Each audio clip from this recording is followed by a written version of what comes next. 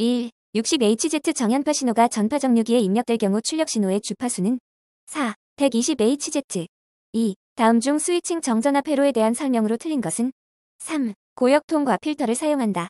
3. 베이스 접지 증폭 회로에서 차단 주파수가 50MHz인 트랜지스타를 2m 접지로 했을 때의 차단 주파수는 얼마인가?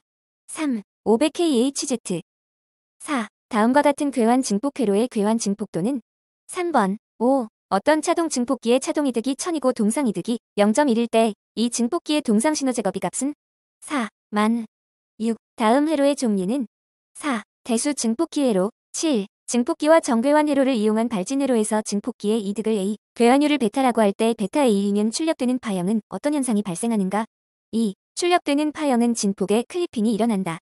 8. 다음 중 온도 특성이 좋고 전원이나 부하의 변동에 대하여 비교적 안정도가 좋기 때문에 안정한 주파수의 발생원으로 많이 쓰이는 발진회로는 2. 수정 발진회로 9. FM 변조에서 최대 주파수 편의가 80kHz일 때 주파수 변조파의 대역폭은 약 얼마인가? 4. 160kHz 10. FM 검파 방식 중 주파수 변화에 의한 전압 제어 발진기의 제어 신호를 이용하여 복조하는 방식은 2. PLL형 검파기 11. 다음 중 주파수 변조에 대한 설명으로 틀린 것은 3. 선형 변조 방식이다. 12. 다음 중 아날로그 신호를 디지털 신호로 변환할 때 양자와 잡음의 경감 대책이 아닌 것은 2. 양자화 스텝 수를 감소시킨다. 13. 다음 중 구형파를 발생시키는 발진기는 2. 멀티바이브레이터 14. 다음 회로에서 VIVB일 때 회로의 출력 파형은 어느 것인가? 1번 15. 다음 회로에서 VCC는 0V일 때 출력 전압은 1. 0V 16. 다음 그림의 논리 회로에 대한 논리식은 2번 17. 그림의 회로에서 A는 B는 0이면 X1과 X2의 값은 각각 얼마인가? 4. X1은 1, X2는 1. 18. 플립플롭 6개로 구성된 개수기가 가질 수 있는 최대 이진 상태수는 3. 64개. 19. 다음 중 전가산기를 정확히 설명한 것은 1. 자리 올림을 더하여 그 자리에 이진수의 덧셈을 완전히 하는 회로이다. 20. 다음 중 특정 비트의 값을 무조건 0으로 바꾸는 연산은 4. 마스크 연산. 21. 다음 그림은 어떤 변조 방식의 블록도를 나타내는 것인가? 는 입력 정보이고 FC는 반송주파수입니다. 2. narrow band FM 22. 다음 중 직접 FM 변조 방식이 아닌 것은 4. 암스트롱 변조 23. 주파수 90MHz의 반송파를 6kHz 정현파 신호로 FM 변조했을 때 최대 주파수 편의가 플러스 마이너스 76kHz일 경우 점유 주파수 대폭은 몇 kHz인가? 4. 164kHz 24. 이진 에스크 신호의 전송 속도가 1200bps이면 보보 속도는 얼마인가? 4. 1200보초 25. 다음 중 통신에서 기저대역 필터의 사용 목적으로 옳은 것은 1. 신호를 정해진 대역폭으로 제한하여 송신하고 심볼간 간섭을 제거하기 위함이다. 26. 다음 중 오덤에 대한 설명으로 틀린 것은 4. 부반송파들을 분리하기 위해 보호대역이 필요하다. 27. 다음 중 FSK 신호에 대한 설명으로 틀린 것은 4. FSK 신호의 대역폭은 에스크나 PSK에 비하여 좁다. 28. 수신된 펄스열의 눈 형태를 관찰하면 수신기의 오류 확률을 짐작할 수 있다. 수신된 신호를 표본화하는 최적 시간은 언제인가? 1. 눈의 형태가 가장 크게 열리는 순간. 29. 16진 QAM의 대역폭 효율은 몇 bpshz인가? 3. 4bpshz. 30. 다음 중 무선 항법 장치가 아닌 것은? 4. NBDP. 31. 다음 중 충전 종료 시 축전지의 상태로 옳은 것은? 3. 가스가 발생한다. 32. 다음 중 전력장치인 수전 설비에 해당하지 않는 것은 1. 비교기 33. 정류회로에서 출력 직류 전압이 200V이고 리플 전압이 2V라면 맥동률은 얼마인가? 1. 1%. 34. 태양광 발전 시스템에서 DC 전기를 사용할 때 필요치 않은 자재는 4. 역류 방지 다이오드 35. 다음 중 싱크로스코프에 대한 설명으로 틀린 것은 1. 소인 시간은 입력 신호의 반복 주기에 비례하여 설정된다. 36. 수신기의 안정도는 수신기를 구성하는 어떤 구성 요소의 주파수 안정도에 의해 결정되는가? 3. 국부 발진기 37. 다음 중 AM 송신기의 신호대 잡음비 측정에 필요하지 않는 것은 3. 전력계 38. 다음 중 급전선의 특성 임피던스 조와 급전선을 통과하는 전파의 전파 속도를 V로 표현할 경우 급전선이 가지는 인덕턴스 값을 구하는 식으로 맞는 것은 1. L은조 V 39. 단상 반파 정류회로에서 직류 출력 전류의 평균치를 측정하면 어떤 값이 얻어지는가? 3번 40. 다음 중 업스의 구성 요소가 아닌 것은 3. 슈퍼부 41. 전파의 속도는 매질의 어떤 양에 따라 변화하는가? 4. 유전율과 투자율 42. 다음 중 템퍼에 대한 설명으로 옳은 것은 3. 전파 진행 방향의 전개, 자개 성분이 모두 존재하지 않는다. 43. 다음 중 자유 공간에서 전력 밀도 P를 옳게 표현한 식은 4번. 44. 무손실 전송선로의 특성 임피던스는 1번. 45. 임피던스가 55메가인 급전선의 입력 전력 및 반사 전력이 각각 50W와 8W일 때의 전화 반사 개수는 2. 0.40.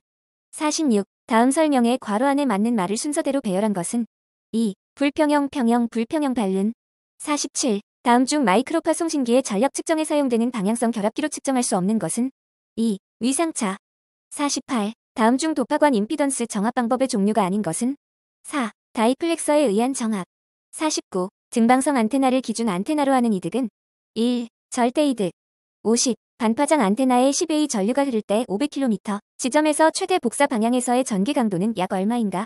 4. 1.2MVM 51. 전계 강도가 100MVM인 지점의 길이 75M의 수직 접지 안테나를 설치하였을 때 안테나에 유기되는 최대 유기 기전력은 약 얼마인가?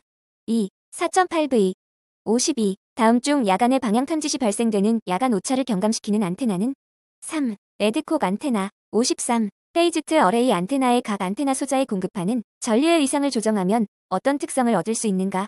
3. 복사 패턴의 방향을 바꿀 수 있다. 54. 안테나 전류를 지선망의 각 분구에 똑같이 흘려서 안테나 전류가 기저부 근처에 밀집하는 것을 피하여 접지 저항의 감소를 도모하는 접지 방식은 2. 다중 접지 55. 대지면에 설치된 수직 접지 안테나로부터 지표면을 따라 전파가 진행할 때 감쇄가 적은 순서대로 바르게 배열한 것은 1. 해면 평지, 산악, 도심지 56. 다음 중 신틸레이션 페이딩에 대한 설명으로 틀린 것은 2. 수신 전개 강도의 평균 레벨은 페이딩에 의해 변동이 심하다.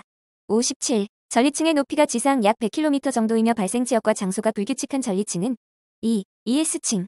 58. 다음 중 인공잡음에 대한 설명으로 틀린 것은 3. 컴퓨터의 클럽 펄스에 의한 잡음 스펙트럼은 기본파만 있고 고조파 성분은 포함하지 않는다.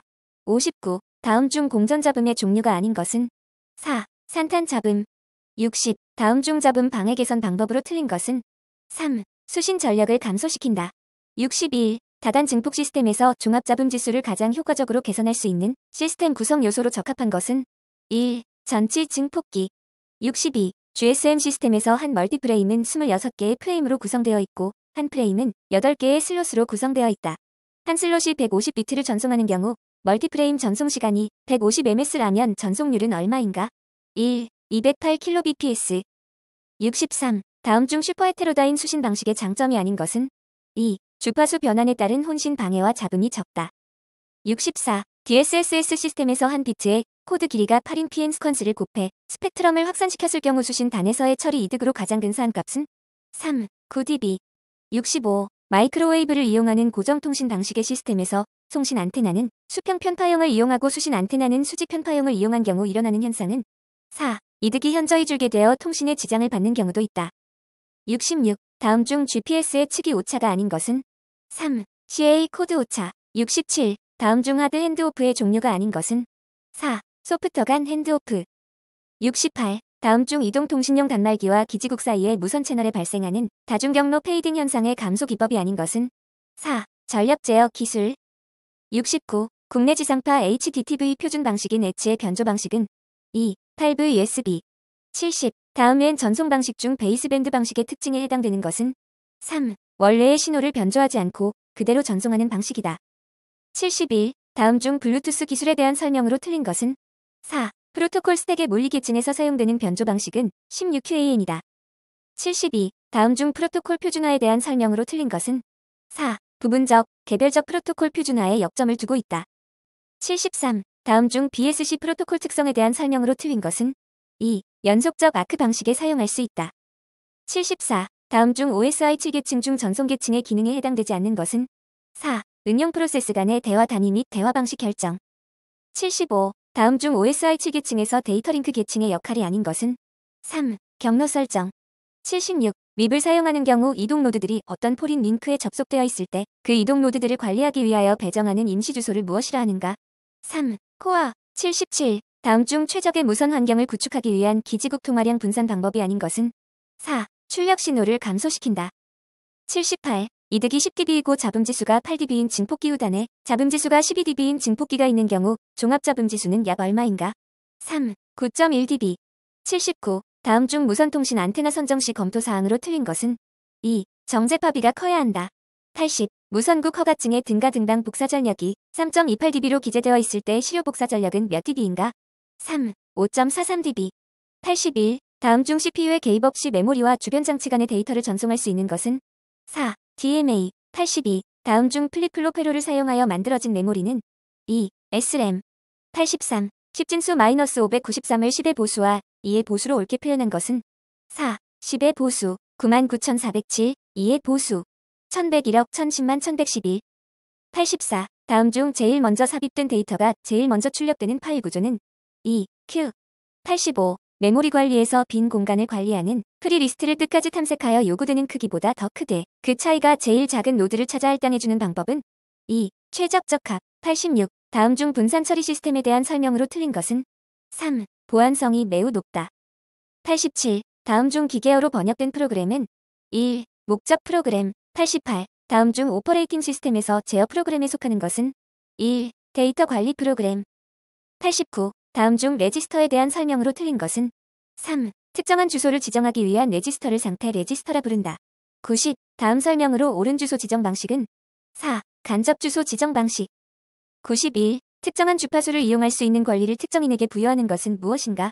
2. 주파수 할당 92. 전파법에서 정의하는 지구국에 대한 설명으로 맞는 것은 3. 우주국과 통신을 하기 위하여 지구에 개설한 무선국 93. 전파 형식의 표시 방법 중 등급의 기본 특성에 대한 표현으로 옳은 것은 1. 첫째 기호는 주반 송파의 변조 형식 94. 다음 문장의 괄호 안에 들어갈 내용으로 가장 적합한 것은 1. 용역 95. 다음 중 감리사의 주요 임무 및 책임 사항으로 틀린 것은 4. 감리사는 설계자의 의무 및 책임을 면제시킬 수 있으며 임의로 설계 용역의 내용이나 범위를 변경시키거나 기일 연장 등 설계 용역 계약 조건과 다른 지시나 결정을 하여서는 안 된다. 96. 다음 문장의 괄호 안에 들어갈 내용으로 가장 적합한 것은 2. 용역업자 97. 일반적인 경우 통신 관련 시설의 접지 저항은 몇 오메가 이하를 기준으로 하는가? 1. 15메가 98. 다음 중 전파법에 의한 적합 인증 대상 기자재에 해당되는 것은 4. 자기유도식 무선기기 99. 전파 응용 설비의 고주 파 출력 측정 및 산출 방법은 누가 정하여 고시하는 바에 의하는가? 1. 과학기술정보통신부 장관 100. 무선 설비의 안전시설 기준 중 고압 전기란 4. 600V를 초과하는 고주파 및 교류 전압과 750V를 초과하는 직류 전압